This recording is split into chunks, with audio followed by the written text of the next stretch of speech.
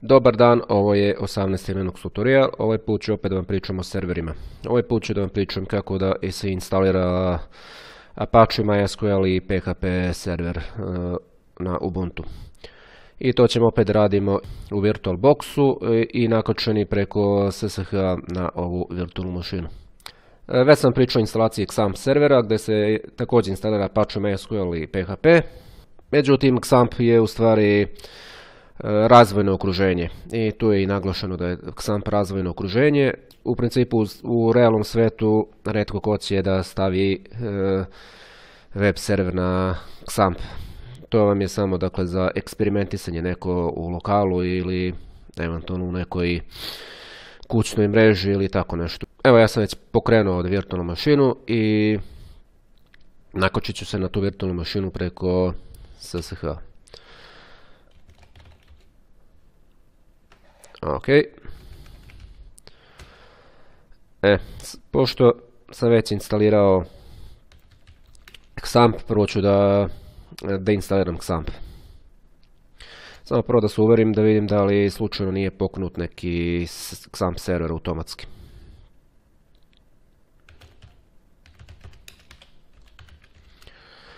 Dakle, jedino je aktivan ovdje server na portu 22 i to je i to je SSH server.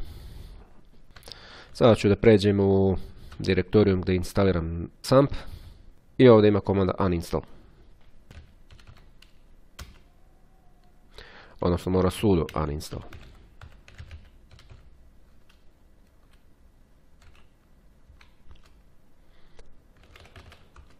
Ukucao sam sudo šifru i sada će XAMPP da se deinstalira. Ovdje me sada pita da li želim da uninstaliram XAMPP i, sve module. Yes. I sada je krenula deinstalacija. Evo, deinstalacija je gotova, pritisnut ću Enter. I samo da vidim da li je ostalo nešto ovdje. Da, ostali su neki folderi koje ću ručno da, uklonim.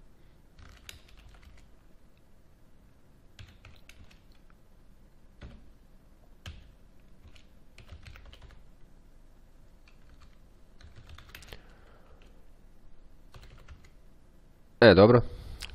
Izbrisao sam i te foldere.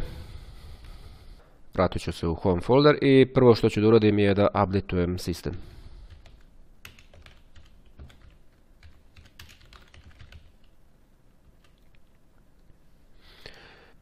E, ok, update je završen i sada ću da instaliram Apache. Dakle, kucam su, dakle standardna komanda sudo apt get install apache 2 tako se zove paket. I samo ću da pritisnem enter pošto je default odgovor ovdje yes. Evo završila se instalacija Apache servera. Evo ovdje piše da je već pokrenut e, web server, sad ćemo i da provjerimo. Dakle, kucat ću sudo net stat minus pnat. Evo vidite na portu 80 eh, je aktivan Apache 2 server. U prethodnoj epizodi sam već podesio eh, Ubuntu Firewall, tako da ne bi trebalo eh, sada da bude problem. Samo ću da provjerim status firewalla za svaki slučaj. E, dobro, dozvoljene konekcije na port 22, na port 80, na port 443 i na port 21, dobro, to je sve u redu. I sada ću da vidim da li je e, server e, i da li je server i podignut. To ću da provjerim kada se nakočim na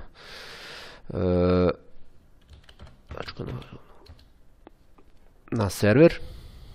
Ako se sjećate, ovdje se kačem na port 8000, e, jer ako se sjećate u jednoj od prethodnih epizoda, podesio sam dakle da podešavanje u virtualnoj mašini, da se virtualna mašina na mrežu kači preko NATA i zato sam morao da uradim port forwarding.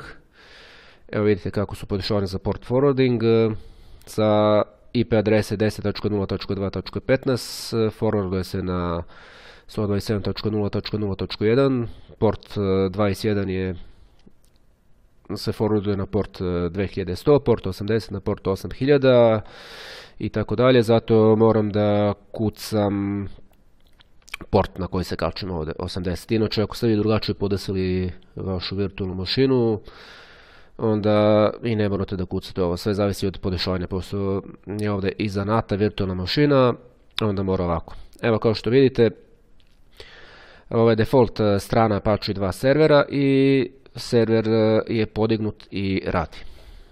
Dakle, web server radi. I pošto se kačim iza NATA, ja nisam morao da, da podešam specifično statičnu IP adresu ili dodatno podešam IP adresu u virtualnoj mašini, ali u jednom od narednih tutoriala promenit ću podešavanje za VirtualBox, to je za ovu virtualnu mašinu i onda ću da vam pokažem kako se i to radi, ali za sad ovako dok ne podignem potpuno sve servere koji su mi potrebni. Sada ću da instaliram MySQL server. Kucat ću komandu sudo apt get install mysql server i također i php mysql to je php 5 mysql jer ćemo posle da instaliramo i php server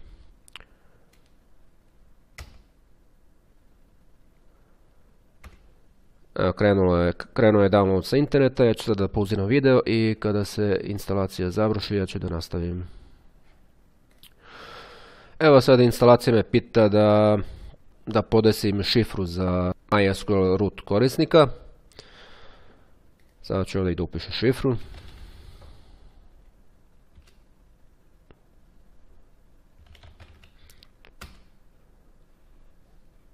Instalacija dalje nastavlja pa ću opet da pauziram video, pa ću da, pa ću da se vratim kada se instalacija ili završi ili ako mi postavi neko pitanje.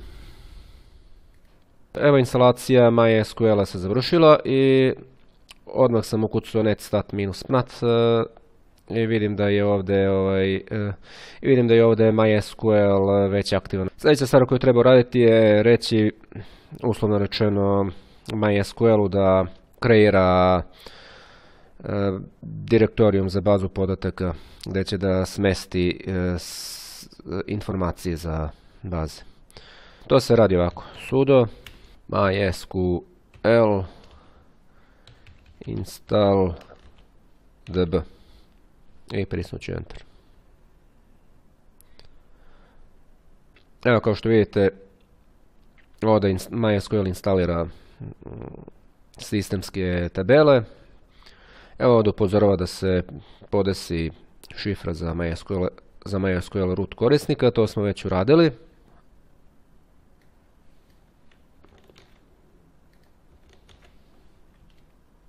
Ovdje nam traži šifru, ja sam već unao šifru, samo da ukucam šifru. Ovdje pita za promjenu root šifre, da. Evo ukucat ću novu šifru, opet šifru radi provjere i to vam je to. I Ovdje piše uklanjanje anonimus korisnika, da i to uradite. To je iz bezbednostnih razloga. E, u normalnim uslovima root treba da, rootu treba da bude dozvoljeno se konektuje samo sa lokal hosta. Da neko sa strane ne bi preko mreže mogao da se loguje kao root. Ajde, tu ćemo pritisnuti yes. Evo da piše da MySQL dolazi sa bazom podataka koja se naziva test koji svako može da pristupi. I to je u stvari samo za testiranje. E, ovdje nas pita da li to da uklonimo i to ćemo da uklonimo. I ovdje da ponovo učitamo ove tabele. Yes. I time je MySQL podešen. Sljedeća stvar koju treba da uradim je da instaliram PHP. Opet ću da kucam sudo. Apt-get install. Php 5 lib apache 2 mod php 5 I treća stvar koju ću da, da instaliram je PHP5 mcrypt. Dakle, ovdje instaliram sam PHP5 i neke dodatke za PHP5. Pritisnut ću Enter i opet Yes i sačekat ću da se e, download završi i pauzirat ću video i vratit ću se kada se završi instalacija. Po defaultu Apache server e, prvo otvara file index.html. U podešavanjima može da se promeni da Apache server e, ne poziva prvo index.html, nego da poziva index.php. Da bismo to uradili moramo da izmenimo ovaj dir.conf file.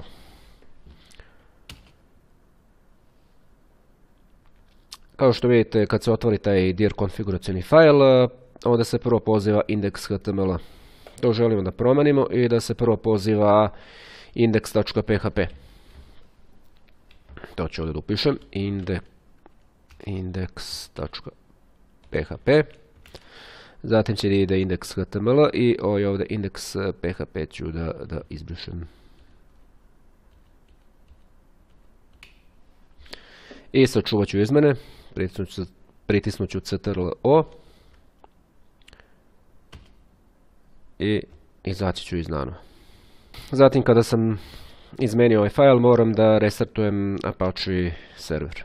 Kucam komandu sudo servis Apache 2 restart restart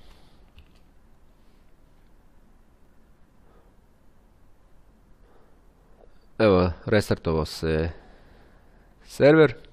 Hoću da pokažem gdje se nalaze fajlovi za web server. Ok, sudo midnight commander. Fajlovi za web server se nalaze u folderu, odnosno u direktorijumu var, u www i html.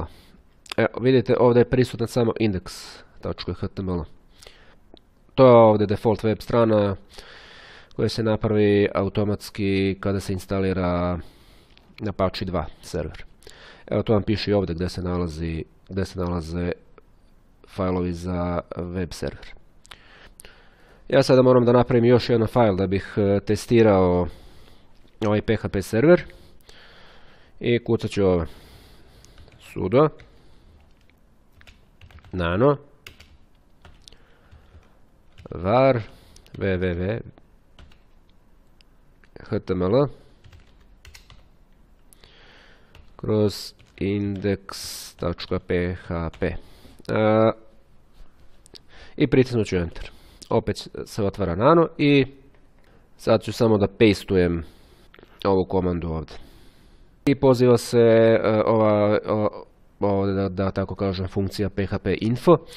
Umjesto ove index.html strane trebalo je da se prikaže informacije o PHP serveru. Sad ću samo da prisem ctrl O da upišem izmene i ctrl X da izađem iz nano. E, sada ću da refreshujem ovo. Vidimo da li to radi. I, dobro, radi. Dakle, ovdje piše da je PHP verzija 5.5.9. Ovdje vam pišu gdje su konfiguracijni fajlovi i tako dalje. Evo sad ću ponovno pozovem Midnight Commander i da vam pokažem da je za tu postoji još jedan fajl. Evo ga www.html Evo ga ovdje index.php. Dakle sada sam ovom izmenom e, napravio to da se umjesto index.html poziva index.php. To uvijek možete da izmenite u zavisnosti od vaših potreba. Evo, ovdje sam uspješno testirao PHP server. E, zatim što još možete da uradite? E, možda će vam nekada zatrebati da instalirate neki dodatni PHP modul. E, to možete da uradite ovako. Prvo možete pretražite listu PHP modula. Kucate dakle sudo apt. Cache search. Php 5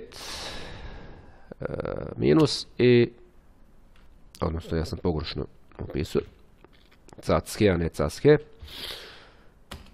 i ovdje imate listu PHP dodataka koje možete da instalirate i piše vam ovdje dakle naziv paketa, a ovdje vam piše šta, čemu služi. Tako da ako je mi nešto od ovoga potrebno, možete da instalirate dati paket, na primjer ovaj.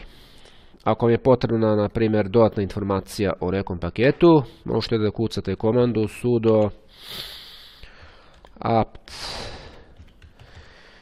show i naziv paketa recimo, hmm, ajde imamo šta ćemo mi da vidimo. Ajde recimo ovaj. PHP 5 GNU PG. I ovdje ćete dobiti detaljnu, detaljnu informaciju o tom paketu.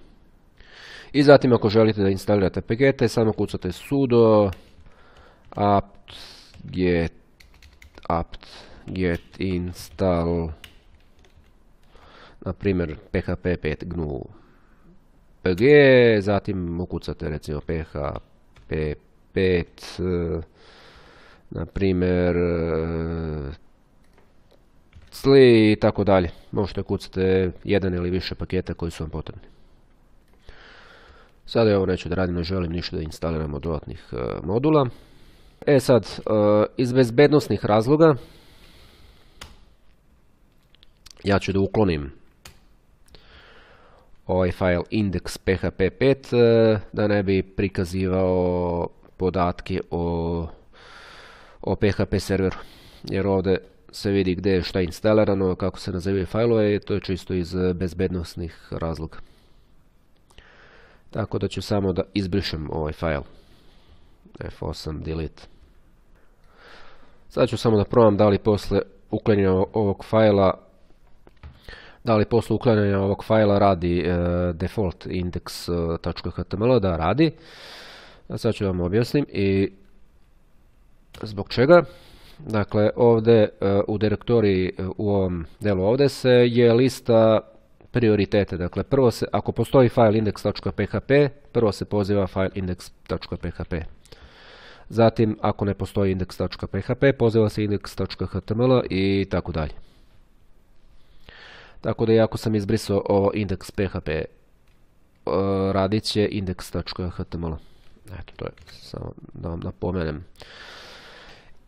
Eto, to bi bilo sve za ovaj put. Hvala na pažnju i doviđenja.